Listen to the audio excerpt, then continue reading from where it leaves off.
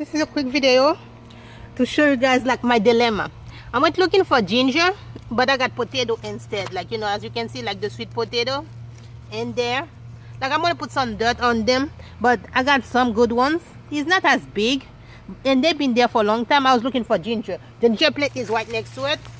So I was like digging in this one and found like I think it was like I think that one that I found in there like one of those that I found in there. And I was like okay I know potato plant spread so I'm probably gonna drop some more dirt on all of them so I can get like you know some a more potato. It's not like I really eat them or use them or something like that. Well I'm gonna eat those tonight like because well they look good.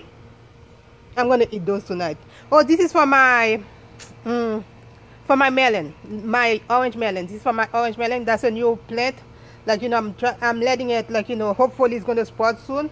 I have the two over there that just sprouted i know it's a mess. Like you know that little corner like there's nothing to do about it just to wait it out till they either die or okay i'm not gonna let them die because like that potato plant has been there forever. So it's like you know every time that it sprouts new one i just leave it and then i get new one and everything like that. So and I didn't even check.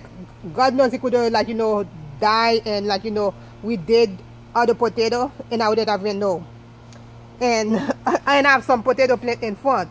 Like you know because every time they spot I don't want the plant to die or whatever I just replant them right away. Just like that's what happened with this ginger plant. It was just supposed to be ginger as you can see but the potato spread and now I have potato in there also. I wonder how that tastes like and since I cannot tell the difference I'm probably going to try to dig and find out uh, if there's more potato in there but eventually not today. I just wanted to show you guys a quick video of my dilemma today.